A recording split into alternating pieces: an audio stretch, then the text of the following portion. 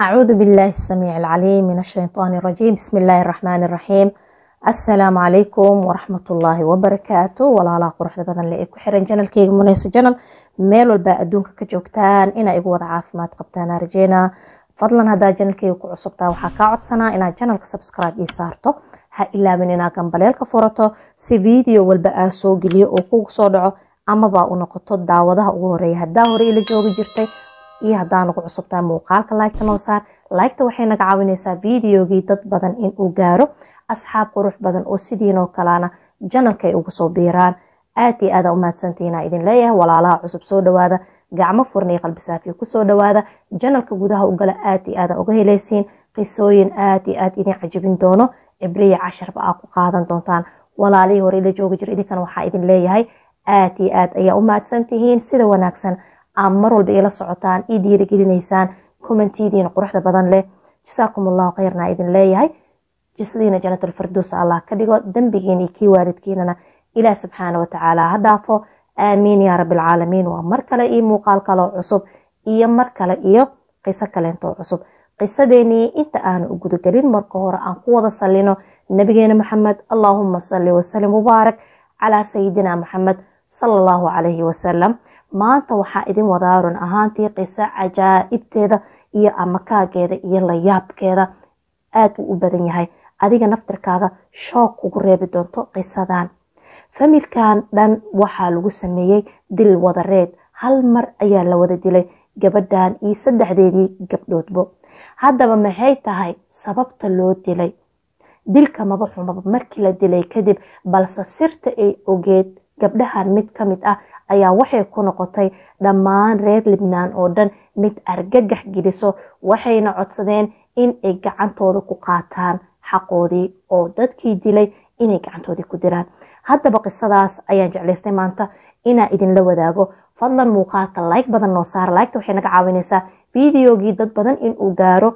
Haddaana like la saarin wax micnaha videoga ma soo kordhinayo janalkiina hor u socod ma sameynayo aniga waan soo dadaalaa. Idinkana waxaan rabaa inaa ila dadaashaan. Commenti badan in aad ka soo bixisaan. Waxaa arkaa dadka xitaa inay commentika ka caajisayaan wax cun iska soo qor hadaa ii duceyneysid hadaa i taageereysid hadaa i dhaliileysid yacni hadaa markaas i dhiirigelineysid intaba waxay markaas naga saacideysaa in videogii hore oo u sii socdo. Laagta sidoo kale ayadana waxay ka qayb qaadanaysaa in videogii dad badan uu gaaro. Janalkana dad badan ay bartaan.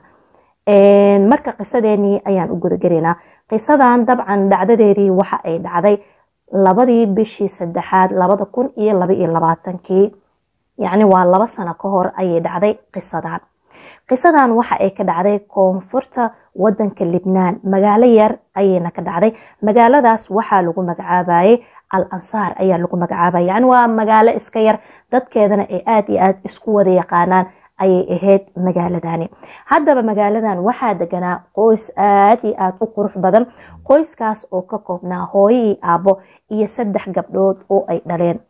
Aabbaha qoyskan ayaa waxaa lagu magacaabayay zakariya safaawi ayaa lagu magacaabayay iyo sidoo kale xaaskiisa basma cabaas labadan lamaane waxay ahaayeen lamaane aad iyo aada u qurux badan wuxuuna ilaahay ku arsaaqay saddex gabdhood oo aad iyo aada u qurux badan. Gabadhoodii curudda ah familkan waxaa lagu magacaabayay riima waqtigaasna waxa ay jirtay laba iyo labaatan sano. Curud ku-xigeenkana waxaa lagu magacaabayay taala oo ahayd ayadana labaatan jir.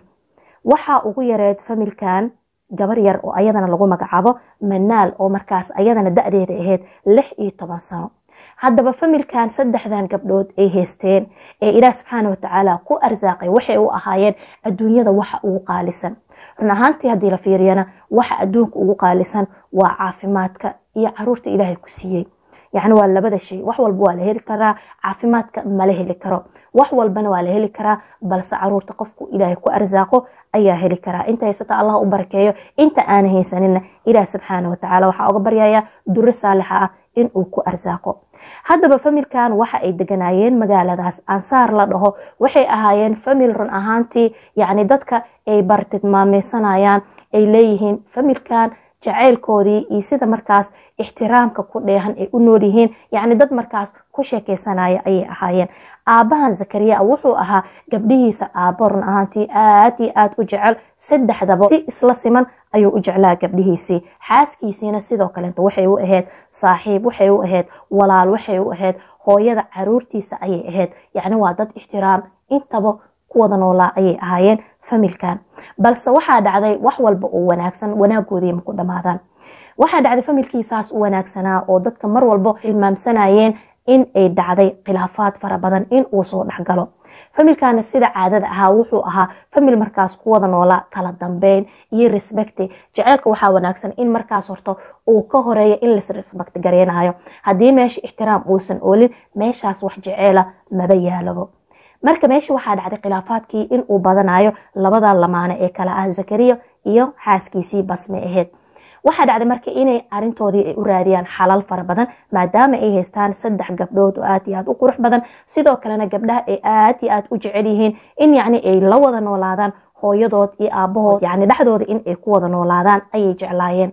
Waalidkii si walba way iskugu dayeen balbase waxaa dhacday in markaas xal lagu qanci karo in arintii loo heli waaye kadibna waxa ay go'aansadeen labadan lamaano oo ah zakariya iyo basma in ay kala tagaan si markaas yacni ixtiraamkii iyo jeceylkii intaasoo sano soo socday meesha uusan uga bixin. Labadoodiiba taladaas waa ay ku qanceen. Sidoo kalena gabdhaha waxaa loo sheegay in jeceylkii iyo isla kulankii hooyadan iyo aabahan iyo familka in uusan meesha ka bixi doonin uu sidiisa u sii taagnaan doono. Sidii ayaynu ku kala tageen labadani qof aabahan wuxuu ahaa aaba run ahaantii aad iyo aad u wanaagsan. Xaaladiisa maadi ee markaas dhaqaale ahna qof markaas iska wanaagsan ayuu ahaa. Wuxuu sameeyey xaaskiisii markii ay kala tageen gabdhihiisii iyo ekistiisii inuu markaas u kireeyo. Guri ayaga ay degaan oo sidoo kalena aana ka fogeen isla meesha uu degan yahay ayuu u kireeyey. Meeshaas ayuu ku ogaan jiray. Wuxuu sameyn jiray zakariya in gabdhihiisi iyo xaaskiisii ay marar badan guriga ku soo booqanayaan.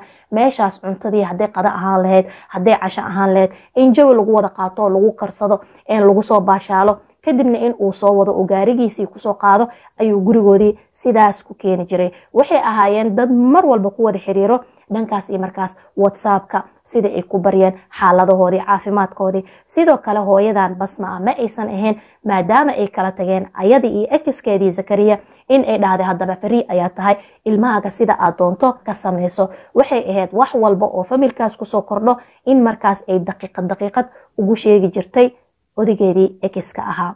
Haddaba waxaa dhacday odagan zakariya ah gabdhihiisa gabadha labaad waayo curudka xugeenka ee lagu magacaabayay taala in ay isjeclaadeen wiil. Wiilkaas waxaa lagu magacaabaya asagana xuseen fayaad da-diisa waxay ahayd soddon iyo lix jir. Jinsiyad ahaanna waxa uu ka soo jeeday isla wadankan libnaan ayuu ka soo jeeday waxaana dhalay famil aad iyo aad u wanaagsan. Dhaqaala haddii la dhahana famil aad iyo aad dhaqaalahooda u fiican yahay ayuu ka soo jeeday wiilkan xuseen ah. Balse ninkan xuseen wuxuu ahaa nin noloshiisa inta ugu badan africa ku soo qaatay waxaana deganaa markaas africa wiil ay walaala yihiin. Marka waxaa dhacday laba sano ka hor in uu yimid uu ku soo laabtay wadankan libnaan ah. Muddo markaas adiga toddoba bilood laga joogana waxa ay isbarteen gabadhan manaal ah. Waxaa u dhexeeyey labadan qof barashadii markii laga soo tago xiriir jeceyl xiriirkoodii markaan manaal waxay u dareentay in uu noqonayo xiriir hergilayo kadibna waxay go'aansatay inay u sheegto waalidiinteeda. Caruurtan waxay ahaayeen carruur saaxiib la ah aabahood wax walba oo ku soo ziyaadana inay u sheegi jireen oo ay la sheergareyn jireen hadday ahaan laheyd wax markaas fikrado ay uga baahan yihiin ama in laga caawiyo ama in lagu dhiirigeliyo intaba. Markii taale ee hooyadeed arintii u sheegtay isla markii hooyadood basma waxay sameysay arintii inay u sheegto odaygii zakariya ah waxayna ku dhahday gabadheenii manaal wiil lagu magacaabo xuseen ayay jeceshahay muddo toddoba bilood ayayna isla wada socdaan. Odaygii zakariya ahaa ayaa wuxuu ku dhahay waa arrin wanaagsan. Haddii ayadaba ay jeclaatay waxaan rabaa marka hore wiilkii in aan baranno asagana aan ka ogaano gabadha waxa uu yahay. Odaygii zakariya ahaa markii ninkii xuseen ahaa loo keenay ee familkii la baray. Waxay arkeen nin aad iyo aad u wanaagsan inuu yahay. Familkiisii ayay soo barteen. Familka uu ka dhashayna wuxuu ahaa famil aad iyo aad u wanaagsan oo caadooyinka iyo dhaqanka iyo diintaba si wanaagsan ugu dhaqmo ayay ahaayeen kadib odaygii dhalay gabadhii taale aheyd ayaa wuxuu ku dhahay waxaan rabaa in waqti badan yacni a isla sii qaadataan oo a isdhexgashaan isbarataan yacni qof walba waxaa fiican qofka kale in uu barto inta aanan laysguursanin ka hor. Si markaas berito yacni in qofkii nadam uu ka noqdo oo ka shalaayo guurkii oo dhah waa ku degdegtay adigoona qofkan si fiican iskaga baranin ayaa tilaabadaasi qaaday si uusan isku dhihin. Inkastoo uu guurka yahay godmudow oo gacanta la gashanayo wixii kaaga soo bixi doonana aana la ogeyn. Balse intaasoo dhan waxaa loo sameynaya waxay tahay dadaal iyo mustaqbalkaagii si markaas uga fikirto meesha uu ku dambeyn lahaa markii ay sidaas xiriirkoodii uu ahaa gabadhii taale iyo wiilkii xuseen ahaa meel fiicanna uu maraayo. Ayaa waxaa dhacday maantaba familkan in ay soo wada baxeen. Waa islaantii basme ahayd iyo saddexdeedii gabdhood riim taale iyo manaal inay soo wada aadeen maalinkaas. Gurigii uu degnaa ninkan zakariya ah. Meesha ayaa waqti lagu soo wada qaatay. Maasha allah maalinkaasna dadka jikada ku jiray ee wax la caba iyo wax la cunaba sameynaya waxay ahaayeen saddexdan gabdhood ee aabahaan uu ku dhaaran jiray sida uu u jeclaa. Markii waqtigii meesha lagu soo wada qaatay ayaa waxaa dhacday in odaygan uu soo wada familkii uu keeno gurigii ay deganaayeen. Gurigii markii uu keenay kadib ayuu ka soo tagay. Xilligaasna waxay ahayd adiga xilli galab oo kalo. Markaas ayaa waxaa dhacday waxyar markii ay ka soo wareegatay in gabadhiisii taala ay soo wacday. Ninkii zakariya ahaa waxayna u sheegtay in ninkii fayaad ahaa uu hooyo u yimid uuna ka codsaday caawo dhammaantooda inuu casho u wadi doono. Cashadaasoo u wadaayana ma ahayn casho uu gabadhan taala keligeeda uu wadaayo ee waxay ahayd casho uu wadi doono familka oo dhan.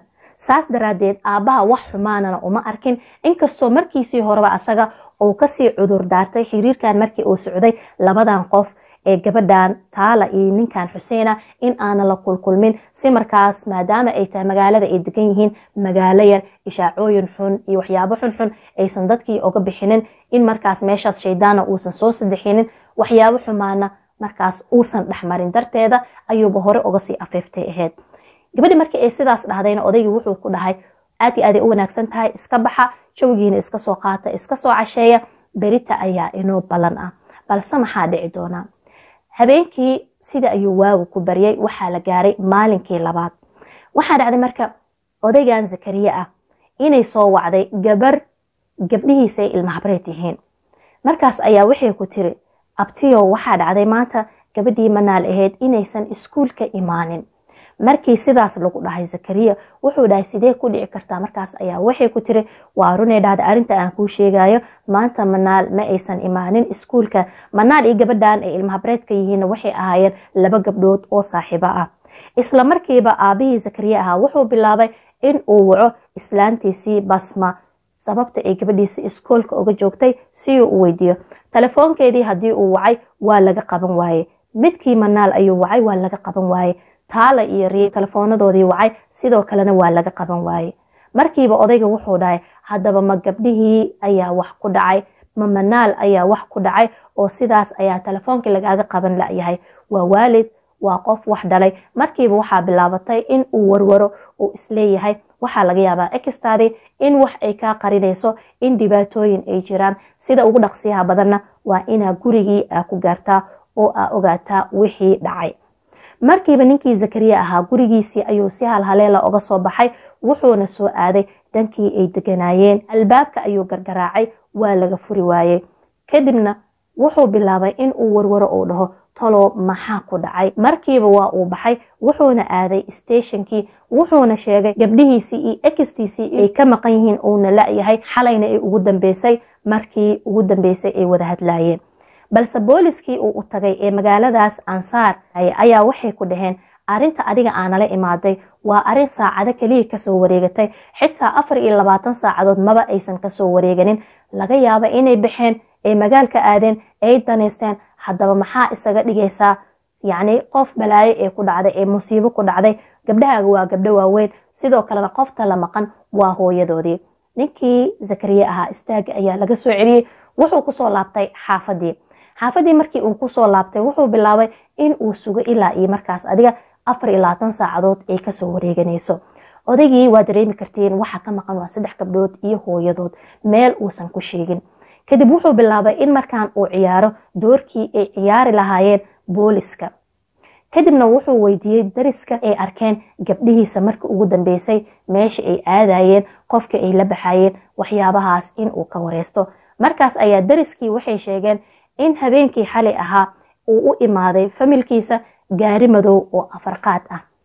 Gaariga markii tilmaantiisii la siiyey waxay tilmaanta islahaadeen gaarigii uu lahaa wiilkii gabadhiisa taala ay isjeclaayeen ee xuseen fayaad ahaa.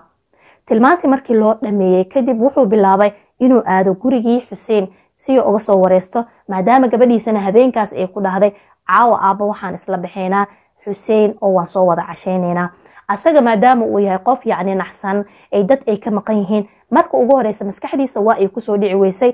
Markii ugu dambeysay inay gabadhiisa taale ay ku dhahday waxaan la baxaynaa caawa ninkii xuseen ahaa. Xuseen markii uu u tagay ninkii zakariya ahaa wuxuu weydiiyey in habeenkii markii uu cashada ka soo celiyey gabdhaha uu keenay gurigoodii. Balse xuseen ayaa wuxuu ugu jawaabay in markii arintaas ay ku ballansanaayeen ay iswada raacaan ay soo wada casheeyaan taala ay soo wacday ayna dhahday annaga ma bixi karno waana baajinay. Go'aankii ahaa caawa inaan casho banaanka ka soo cunno. Markay saas igu dhahdeen wuxuu yiri aniga waan iska daayay kadibna waan iska daneystay. Balse arinta meesha jirta ayaa waxay tahay dariska baabuurka ay ku baxeen familkan inuu yahay baabuurka uu lahaa ninkan fayaad ah. Odaygii wuxuu soo istaagay gabdhahaygii iyo ekisteydii adiga ayay kugu maqan yihiin dadka oo dhanna waxay leeyihiin adiga ayaa waday markaas ayaa wuxuu dhahay aniga ma wadin ee waa igu qaldamaysaa meeshii waxaa ka dhacday maadaama labadan famil ay ahaayeen laba famil caruurtoodii xiriir ay leeyihiin. Xiriirkoodiina markaas yacni loo badinayo in uu ku soo dhammaan doono guuleysi iyo in markaas guurkoodii uu dhaco in familkii wiilka ay dhaheen wiilkeena ayaa ku xadgudbaysaa arrin aanan loo baahnayn ayaa rabtaa in aad dusha ka saarto haddii aad sii wadana waxaa ogaataa inaan dacwo kugu soo ogeeno. Ninka sidaas la leeyahay waa ninkii zakariya ahaa ee ekistiisiiyo caruurteedii ay ka maqan yihiin. Isla markiiba wuu soo baxay xaafadii ayuu ku soo laabtay. Xaafadii markuu imaaday kadib ayaa waxaa dhacday markiiba haddana inuu aado booliskii wuxuuna sheegay in marka ugu dambeysay ekistiisiiyo caruurtiisa ay wada raaceen ninkan xuseen fayaad ah. Haddana uu inkiraayo ee ninkaas in loo soo xiro ee baaris loogu sameeyo ayuu codsaday balse booliskii ayaa waxay ku dhaheen haddaba waxaa rabnaa in aa noo sheegto ekistaada iyo gabdhahaaga markii la wadaaye ee ninkaas raacayeen. Ma dad waxay ahaayeen inta la qasbaayay ee gaarigii xoog lagu saaray mise dad ayaga ayaga oo markaas yacni ogol oo raali ka ah raacay ayay ahaayeen. Wuxuu dhahay raali ayay ka ahaayeen casho ayayna wada aadayeen marka waxaa lagu dhahay ninkaas waxaa ku eedeyso meeshaan maba jirtabo balse ninkii zakariya ahaa waa ku adkaysta wuxuu yiri waxaan rabaa in aniga ninkaas lay soo wado kadibna lay baaro. Waxaa dhacday booliskii ninkii xuseen ahaa in ay soo wadaan kadibna stationkii la keeno lana weydiiyo habeenkaas inuu waday familkan balse wuxuu sheegay inay cashada ku ballansanaayeen laakiinse xiliyada ugu dambeeyey in ballantii ay ka baxday gabadhii taale aheyd sidaasna lagu joojiyey bixitaankii habeenkaas la bixi lahaa ninkii zakariya ahaa booliskii wuxuu kala soo kulmay haddaba arrin markaas qalbijab iyo niyad jab ku soo riday. Wuxuu ku soo laabtay xaafadii. Haddaba waa ogtihiin bini-aadankana waxaa laga wada sameeyey war. Waxaa dhacday meesha maadaama ay iska tahay magaalo yar in dadkii labalaba ee afka iskula galayaan ee waxay rabaan ay sheegayaan. Waxay leeyihiin mar islaanta ayada ayaa baxsatay waxayna u baxsatay wadanka suuriya. Nin ayay la baxsatay gabdhaheediina waa ay wadatay. Marna waxay leeyihiin gabdhaha ayaaba laga yaabaa inay niman la baxsadeen islaantina ay sidaasi ku raacday. Haddaba bini-aadanka mararka qaar waxaa arkaysaa adiga oo dhiban in dhibkaadii dhibka weyn ee markaas haddana dusha kaasii saarayaan waxyaabo aysan hubinna ayaga inay iska qiyaastaan ayay haddana ku leeyihiin oo ay kugu xanuunjinayaan. Ninka waranka kugu muday iyo kan kugu gilgilayo kan kugu gilgilaya xanuun badan kan kugu muday mar ayuu kugu muday. Ninkan dhibaatada waa ay ku dhacday meeshii looga baahnaa dadkii inay garab istaagaan ayaa waxay sameynayaan ishaacooyin aanan wanaagsaneyn in ay ka bixinayaan dadkii. Haddaba hadalkii wuxuu noqday mid markaas xaafadii ku sii batay.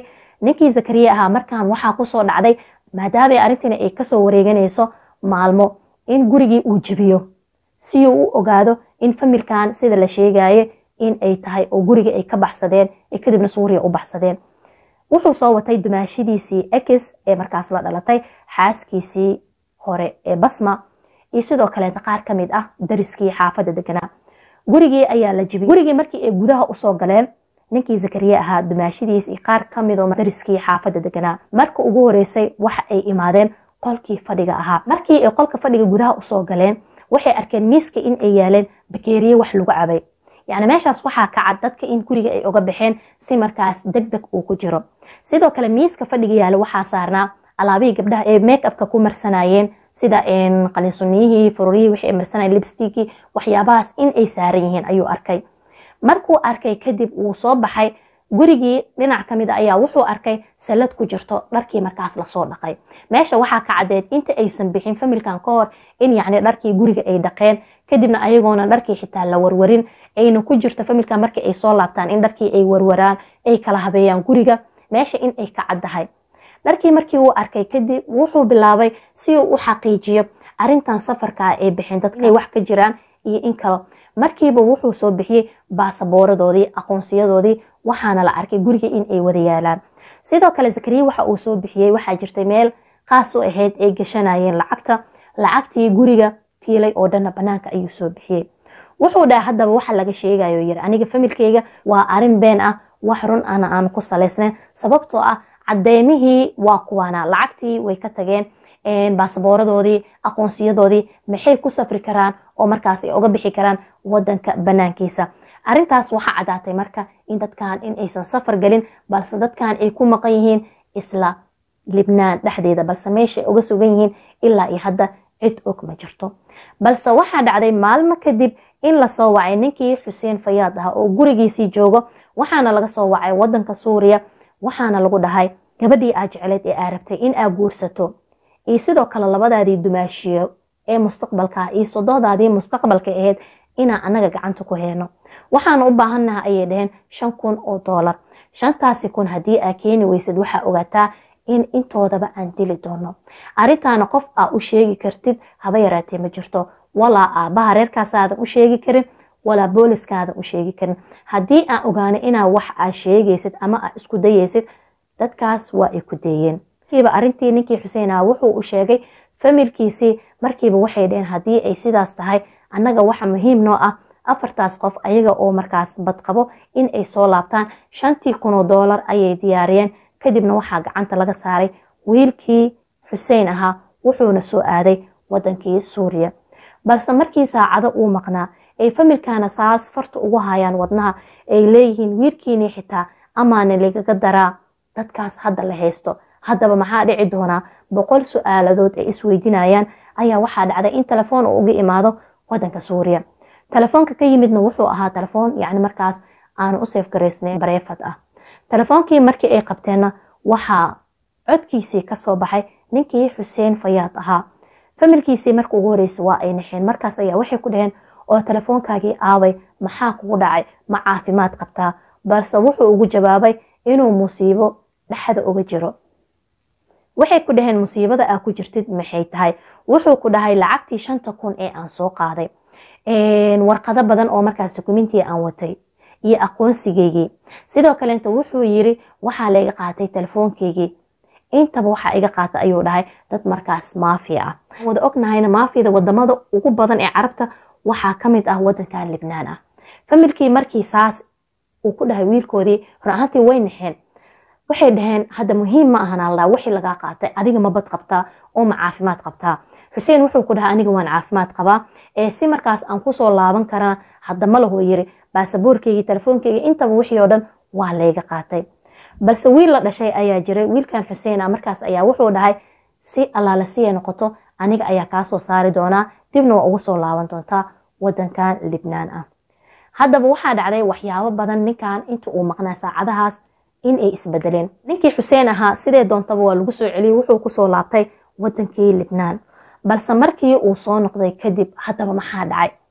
Markiiba ninkii xuseen ahaa waxaa sugayay booliska haddaba inta uu maqnaa maxaa isbedelay? Ilan sakimo yar gudahooda ayay wax walbo isku bedeli karaan waxaa dhacday ninkii zakariya ahaa markii uu arkay in booliskii ay wax u qaban waayeen arintiina ay muddo maalmo ay ka soo wareegatay.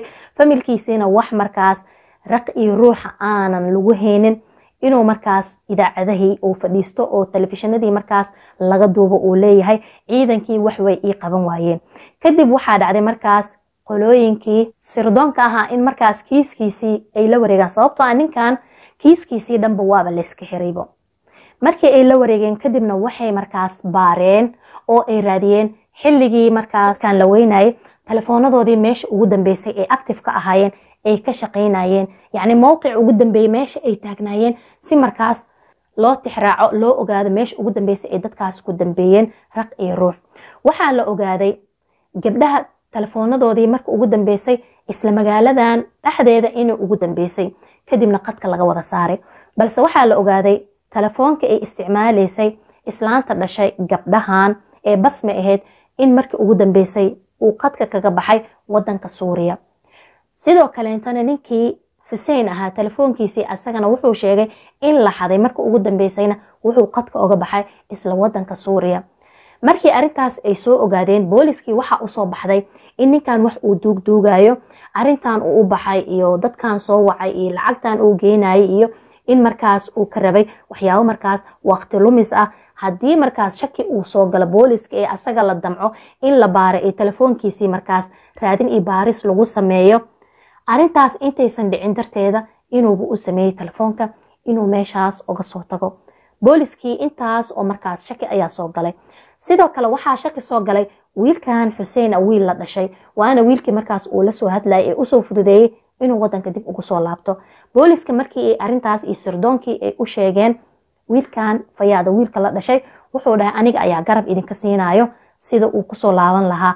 Haddii arintaas ay ku soo cadaato walaalkay annagana waxaan ka qaadan doonaa tilaabo markaas cad. Sidii ayaa lagu soo celiyay ahayd xuseen waxaana ka soo horeeyey ciidankii. Markiiba waa la waday ninkii xuseen ahaa waxaana la geeyey stationkii waxaana la weydiiyey sababta uu ku sameeyey arintan oo dhan waxa ay tahay ninkan markii hore waa tii uu dhiibtay markaas warbixin uu dhahay aniga dadkan habeenkaas ma aanan wadin oo cashadeenii waa ay baaqatay. Yacni ma arkin mana urinin ayuu soo istaagay.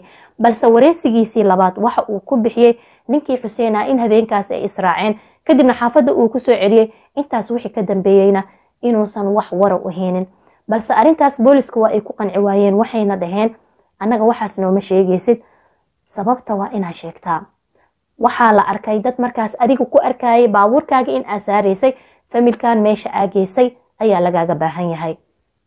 Markaas ayaa wuxuu dhahay ninkan waa wax walba waa sheegaa aniga waxaa dhacda ayuu leeyahay.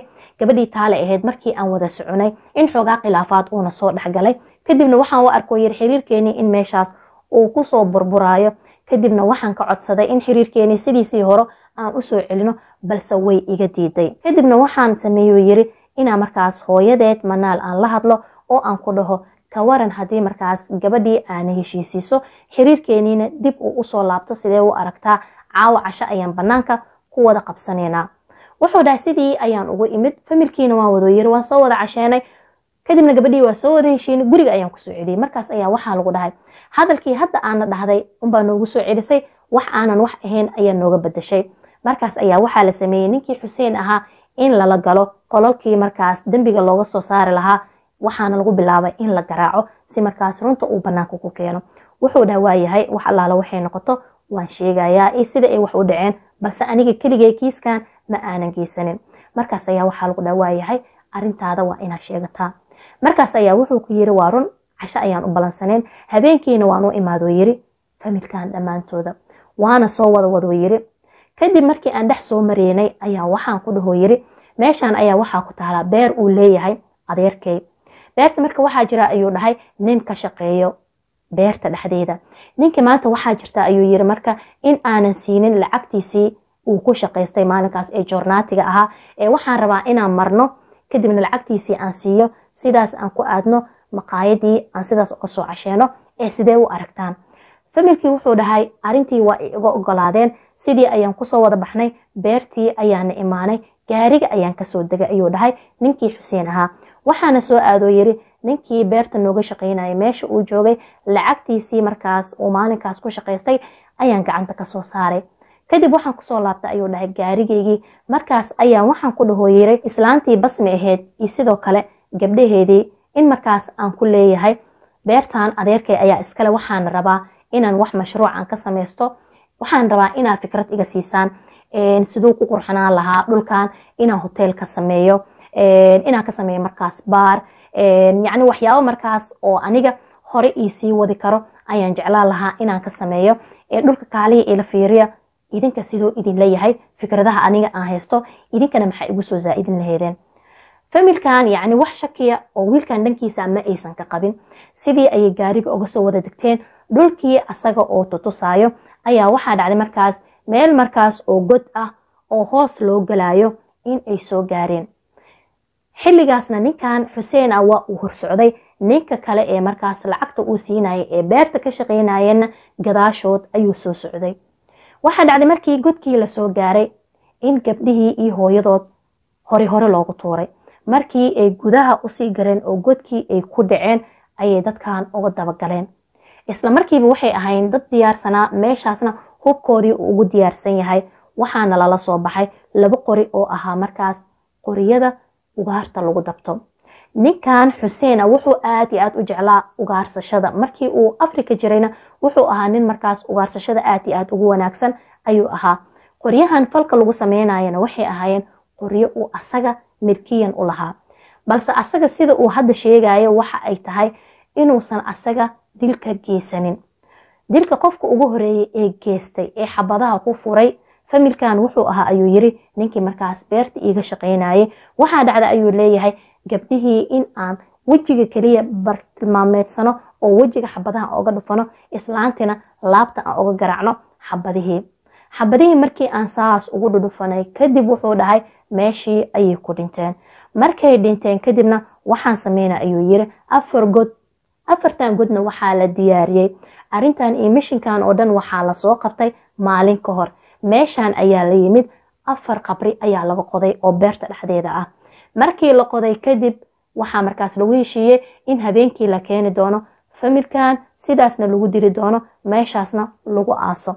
Waxaasoo dhan sabab ayaa jirtaa oo ka dambeysay. Dilka wuu dhacaa balse wax walba sabab. Balse familkan khaasatan gabadhan taala ayaa waxay haysay arrin markaas sir ah. Sirta intaysan banaanka u soo bixin darteeda ayaa dadkan ayaga oo dhanbo tikidkoodii loogu jaraybo.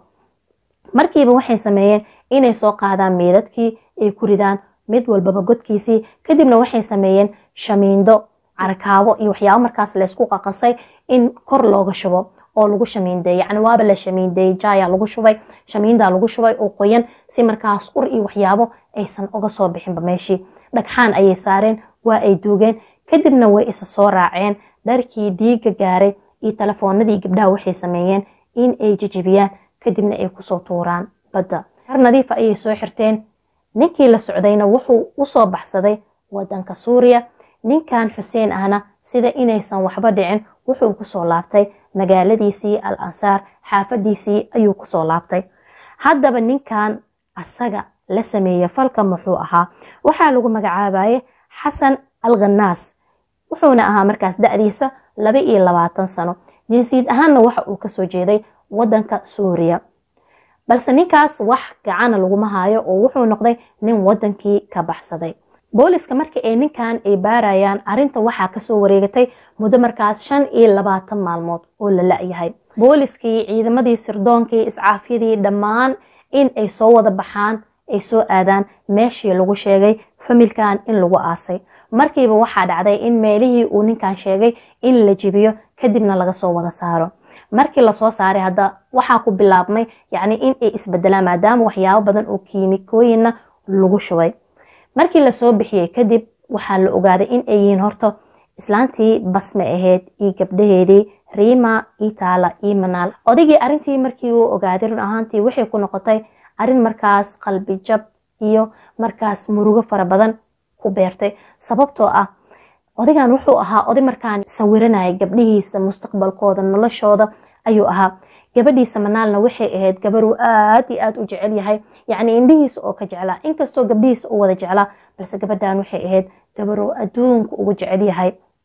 Wuxuu leeyahay waxaa aniga horteyda biila habeenkaas gabadheeda shaahiga ee gacanteeda igu soo karisoo yiri ugu dambeeyey ay isiisay gabadheeda wuxuu yiri maxay galabsatay? Gabar yar oo hadda soo baxaysa oo lix iyo toban jir. Maxay galabsatay oo dembiya lagu dilay? Gabdhaheyga kale maxay galabsadeen? Waa gabdho soo baxaayo. Ninkan gabadheeda taala way amintay. Mustaqbal iyo guur ayay kaleed sababta intaan la eg ee cadowtinimada ah ee wuxuushnimada ah ee sidaan uu ugu dilay maxay tahay? Wuxuu yiri sidoo kale eksteydii basma xaaskaygii hore way ahayd balse waxay ahayd qof aanan qalbigeyga ka go-eenin oo marnaba aanan ilaabi karin waxay ahayd gabdhahayga hooyadood. Waxay ahayd saaxiibtay. Wax walba ayay ii ahayd ma ilaabi karo. Maalinkaas wuxuu yiri maalin qurux badan ayay noo ahayd balse quruxdii oo dhan ninkan ayaa gacantiisii ku soo baabi'iyey waxaana u baahanaha ayuu yiri in sharciga lay marsiiyo cadaaladana in laygugu qaado ayaan rabaa. Dadkii ayaa waxay bilaabeen in ay dhahaan. Waxaa laga yaabaa gabdhahan iyo hooyadood inta aanan la dilin ka hor laga yaaba in la kufsaday. Ama markaas ninkan in uu xitaa uu calaaqaad la lahaa qolooyinka xibnaha bini-aadanka ka ganacsado ee xibnahoodii uu bibixiyey kadibna uu sii gatay. Maadaama haddana uu suuriya aaday lacag uu geeyey ninkan waxaa laga yaaba markaas qolooyin markaas asagaba maafiya iyo dad markaas xibnaha bini-aadanka ka ganacsado in uu gacan la leeyahay. Ninkan sida la ogyahayna maba ahanba nin markaas lacag u baahan waxyaabahaasna lacag darteeda u sameyn karo. Familkiisana waxay ahaayeen famil dhaqaale ahaan markii la dhaho aad iyo aad u wanaagsan balse waa lagu qanci waayey oo waxay codsadeen dadkii in baaritaan la sameeyo. Markii la baaray kadibna waxaa caddaatay in wax xadguduba aana loo geysanin oo wax meeshaas uusan ka dhicin. Sidoo kalena xibnahoodii uu wada dhan yahay wax xibina ka maqan in aysan jirin. Arrintiisii waxaa loo gudbiyey markaan maxkamad. Haddaba maxaa la rabaa waaye? Ninkii kale ee ahaa xasan alkhanaas in la soo qabto. Ninkan wuxuu u baxsaday wadanka suuriya. Waxaa dhacday marka ninkan in social media la geliyo arinta uu sameeyey iyo waxyaabahaas oo dhan. Kadibna waxaa dhacday ninkii inuu gacanta u galay dhalinyaro suuriyaan ah. Waxaana lagu qabtay markaas magaalo yacni xiriiriso wadanka libnaan iyo sidoo kale wadanka suuriya. Asaga oo sii baxsanaya ayaa la qabtay. Kadib waxay sameeyeen si ay u ta'kiidiyaan ay u hubsadaan ninkan inuu yahay ninka la raadinayo ee xasan alkhanaas waxaa u caddaatay asagii inuu yahay. Kadib waxay bilaabeen inay garbaduub u xiraan oo ay garaacaan dhiigiisii bannaanka ay keenaan la xirxiro. Kadibna ay muuqaalo ka soo duubaan social mediana ay ku soo wada sheergareeyaan. Kadibna waxaa dhacday ninkii xasan ahaa in dib loogu soo celiyo wadankii libnaan. Waxaa dhacday marka labadoodii in maxkamad la soo wada saaray. Maxkamadaas waxaa ka soo qayb galay oo joogay xitaa wiilkan xuseen familkiisii. Markii ay arkeen wiil wiilkoodii oo afkiisa ka qiiranayo in dembigaas asaga uu geystay qoryihii uu ku dilayna gurigii markii lagu laabtay ee la soo qaadayna ay noqdeen qoryihii falka lagu geystay aabihii iyo hooyadii dhalaybo. Istaaga ayay ka wada dhaceen oo kadibna iscaafkii ayaa lagula cararay oo dhakhtar ayaa la geeyey. Kadibna familkan maadaama ay ahaayeen famil aada u wanaagsan waxay dhaheen wiilkeena maanta laga bilaabo annaga wiil ahaan ma u tirsaneyno oo dayro ayuu naga yahay. Waxaana codsanaynaa ayay dhaheen inta aanan la duuginbo marxuumadan afarta ah ka hor in la dilo oo asaga la horduugo amaba lala joogo. Yacni heerka ay ka xun yihiin waaye wiilkooda dhibaatada uu geystay. Maxkamadii markii ay aragtay dhammaan cadeymihii iyo wax walbo waxay dhaheen dadkan waa in la fiiriyaa maskax ahaan haddii ay xanuunsan yihiin iyo hadday caafimaad qabaan. Ilan qof caafimaad qabo arintan maku dhiiran karo in uu sameeyo. Markii la geeyey dadkan dhakhtarkii ee la soo baaray dhanka maskaxdoodii waxaa caddaatay inaysan waxba qabin caafimaadkoodiina boqolkiiba boqol uu yahay arintaana ay si kaso u sameeyeen. Haddaba waxaa isweydiineysaan ilaa iyo hadda sababta familkan loo laayay maba cadabo ninkan sida uu hore uu u sheegay ee xuseen ah inay isku dhaceen gabadhii taale ahayd arinta isku dhicitaanka ahna wax kale ma ahayn oo gabadhan taale waxay ogaatay ninkan xuseen fayaad ah iyo ninkan xasan alkhanaas ah inuu ka dhexeeyey haddaba xiriir waa dareemi kartiin intaas ka badan inaa sii wadwadna ma ahan. Yacni xiriir inuu ka dhexeeyo laba nin oo xiriir ka dhexeeyo wax aana wanaagsaneyn waaye ilaah subxaana watacaalana oo caragelinayso. Markii ay ogaatay kadib waxay dhahday xiriirkeenii meeshaas ayaan ku soo gabagabeyneynaa. Ninkan waxa uu ka cabsaday arintan in ay u sheegto familkeeda. Wuxuu go'aansaday marka familka oo dhanbo in uu wada laayo si aysan arintan banaanka u soo bixin taas ayaana keentay labada nin in ay go'aan ku wada gaaraan. Ninkana inuu familka soo wado godkii iyo waxyaabihii iyo meeshii lagu dili lahaa iyo lagu duugi lahaa in la diyaariyo ee laga shaqeeyo maalin ka hor habeenkiina falkii la sameeyo. Maxkamadii kiiskii meesha ayay markaas ku soo xirtay maadaama dadkan dembigii uu cadaaday waxaana la dhahay arintoodii waxaa loosii gudbinayaa maxkamada sare oo ilaa ay hadda marka waxaa ku jirtaa waxay tahay in arintan islamarkiiba go'aan cad aan laga qaadanin. Balse dadkii magaaladaas al ansaar deganaa ayaa wada kacay oo soo fariistay idaacadooyinkii oo dhan oo waxay ku dhaheen ninkan waxa uu geystay dembi. Yacni aana la dhihi karin waa dembi iska caadi ah dembi akbar ayuu geystay.